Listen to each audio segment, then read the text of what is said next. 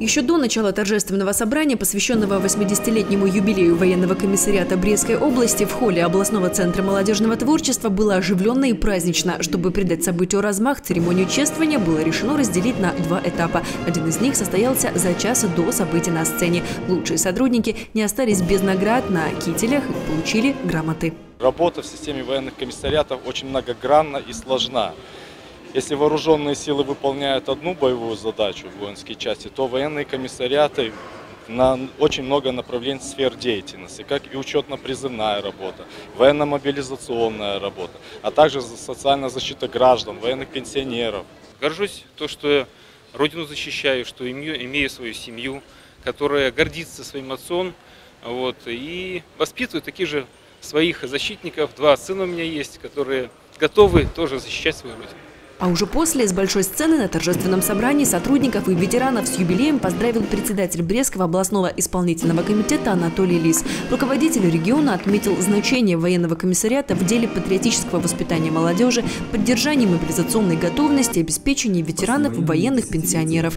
Разрешите поздравить всех, кто причастен к этому празднику, пожелать всем успехов дальнейших и самое главное, чтобы те знания и опыт, которые накоплены или которые мы сегодня имеем, чтобы они нам не пригодились, а мы их теоретически и практически только изучали.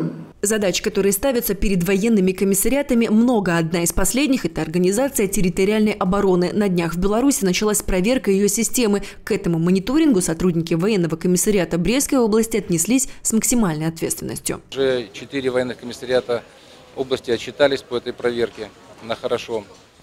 Вот, проверка продолжается и будет продолжаться до конца следующей недели. Вот, у нас не за горами призыв, поэтому тоже активно готовимся к призыву. Вот, приписываем молодежь 2004 э, года. Значит, ну и вы знаете, что со вчерашнего дня начался второй этап проверки вооруженных сил, в ходе которого тоже мы поставляем мобилизационные ресурсы в наши воинские части Брестского гарнизона.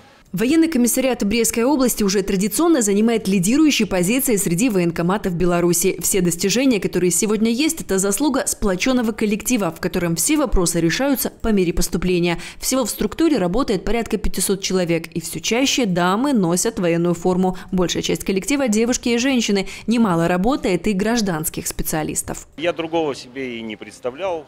Отец у меня был военнослужащий. Я с юных лет везде форма, оружие и прочее. Просто другой жизни не представлял. И, в общем-то, ни о чем не жалею. 33 года я прослужил в армии.